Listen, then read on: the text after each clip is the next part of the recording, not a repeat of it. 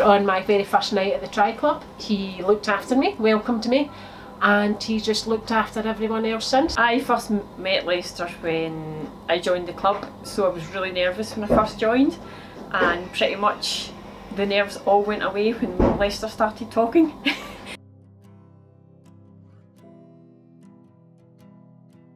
Uh, one of the first things I always remember about Lester was um, I was doing my first half Ironman in the days at Aberfeldy when it was a pool swim. I was last person out into the car park. Mine's the only bike that was left.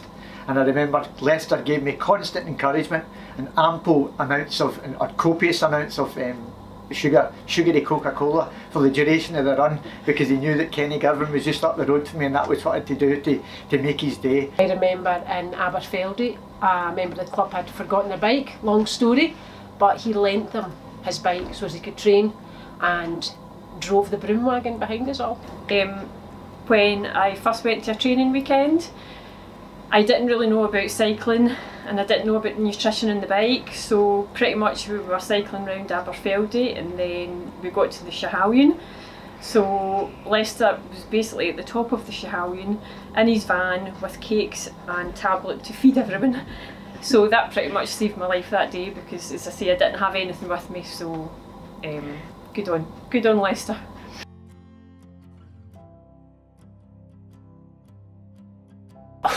Lester, how could you There is not one word for Lester, he's just Lester. That should be a word in itself. Anywhere you go, everyone knows Lester. He's just an all round good guy. Magnificent.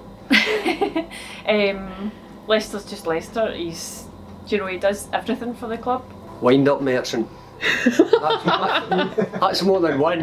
Run it all together. Hashtag wind up merchant. Absolutely. Well done, Lester. Very well deserved. Congratulations. Well done, Lester. You really deserve this award. I'm so pleased for you. Lester, you are just the main man in this club. I absolutely applaud what you have done over the 31 years, 31 years that you have been in triathlon. Um, but I must say that I'm glad you changed it for Air Turtles to Ayrodynamics, get a wee bit better ring to it. But well done mate, cheers.